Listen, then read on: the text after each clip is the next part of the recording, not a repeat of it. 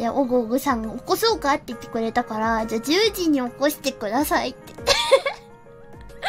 もうね、もう、大ベテランはね、アラームに使うなよって話だけどね、も3回アラームに使ってますからね。もう3回アラームにしてますから、おぐおぐさんを。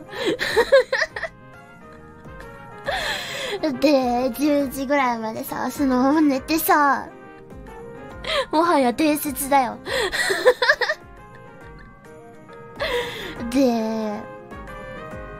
ね、10時になって起こしてもらって、なんかつくちゃんは起きたんだけど、ひまりが全然起きなかったらしいの。で、15分までちょっと追加でって言って 15分まで寝て、で、いや、そ、15分でつくちゃんも起きたのかな ?15 分のスヌーズでつくちゃん、あの、スヌーズおごぐさんでつくちゃん起きて、で、ひまりも、よし、じゃあ、15分なったし、起きるかって言って起きようとしたんだけど、また寝ちゃったのよ、ひまりは。で、そしたら、なんか おごぐさんが、なんか、えこいつ起きねえなみたいな感じで言って なんか、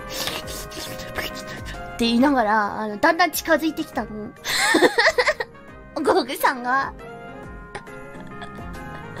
なんかさ、あの、そういうさ、ホラーゲームのボスいるよね。なんか 舐めずりながらさ、こう歩いてくる人みたいな感じで、なんか、触手が近づいみたいな感じで、なんか、なんか遠くからなんか、みたいな感じで、なんかどんどんどんどん近づいてきて。え、なに、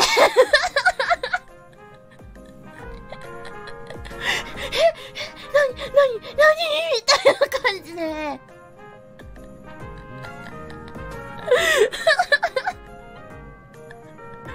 どんどん近づいてきて、マジで怖くてさ。それでね、やっと起きましたね。なんで、あのー、耳舐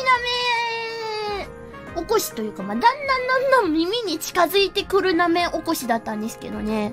あのー、思ってた耳舐めと違う。いや、そうなんだよ。なんか、あの、みんなはね、あの、すげえ気持ちよかったのでは、くっそ羨ましいぜって思うかもしんないけど、あの、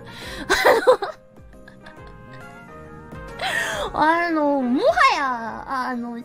ましたね。なんか、思ってたのと違ったというのがね、正直な感想です。現場からは以上でございます。まあ、そんな感じでね、